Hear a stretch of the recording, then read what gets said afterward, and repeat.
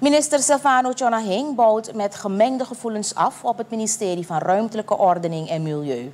Dat werd opgezet bij de vorming van de huidige regering. In een interview met journalisten zegt de bewindsman er trots op te zijn dat op dit moment alle structuren, het beleid en de procedures van het ministerie in orde zijn.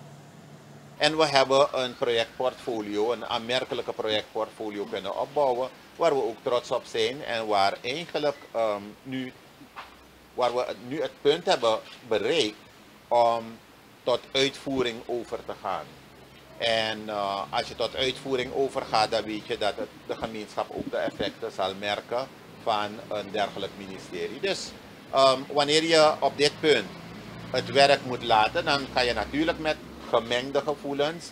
En dat betekent dat je aan de ene kant blij bent dat je even kan uitrusten van het zware werk. Aan de andere kant um, hoop je uh, en ik vertrouw erop natuurlijk dat het werk op een goede manier zal worden voortgezet en dat degene die dat moet overnemen, dat hij dat uh, op een juiste manier doet.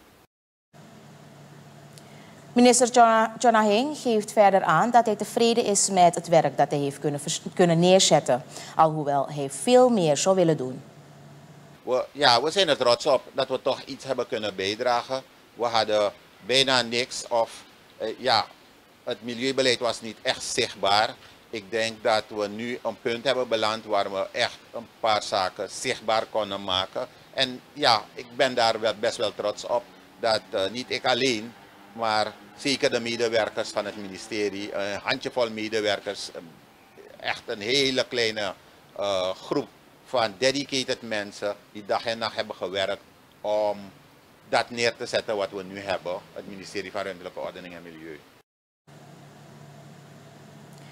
Minister Jonahing heeft gisteren een gesprek gehad met president Santoki, waarin zaken zijn besproken die te maken hebben met zijn vertrek.